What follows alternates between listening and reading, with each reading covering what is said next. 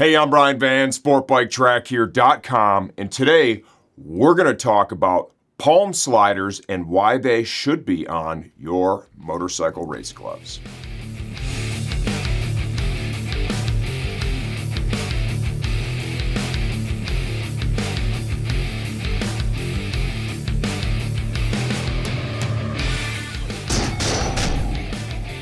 Okay, odds are if you've watched any of my full gauntlet race glove video reviews over the years, you've heard me talk about palm sliders already. We want to open this up by talking about what are they and why are they there, okay? Most of us instinctively when we fall, we're going to put our hands out to brace for impact. It's kind of hardwired into you. You do that with a standard glove, right, that just has a leather or kangaroo palm, no slider in that area. A couple of different things can happen. Thing one, if you have enough pressure on it and you're sliding for long enough, maybe you wear through the palm of the glove. That would suck.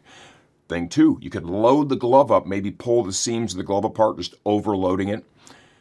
Or you could transmit a bunch of energy into your wrist, right? There's a little bone in there called scaphoid bone. It's low blood flow area. You break that thing, it's a really drawn out healing process, right? Can also create a tumble if that thing grabs really hard. For that reason, many years ago, a company called Knox from the UK developed some armor, they're an armor company, to go in that area to help promote a slide and to protect the rider and protect the integrity of the glove in that area.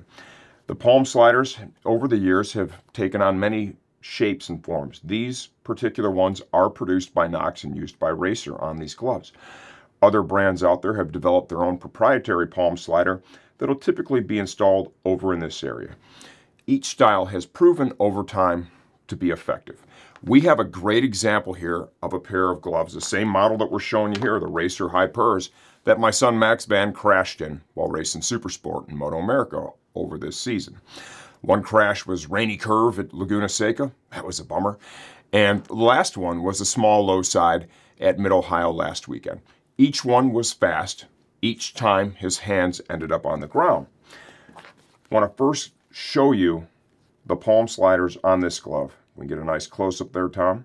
You see what they look like before they've ever had any impact with the ground. And then we'll show you Max's Hypers, two crashes. Specifically in this area right here, you can see there's been a lot of contact there. There's a few millimeters worn off completely, okay? But note the rest of the glove all around it.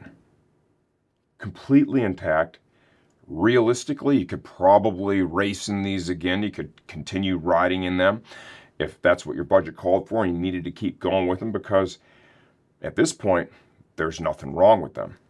That is their job. They did it perfectly. That's why they're there. And something important to understand too is, you know, some riders who've never ridden with these might think, well, they're going to be in the way. I'm going to notice those when they ride. They're going to be bothersome. They're completely off the grip. You never know they're there, right?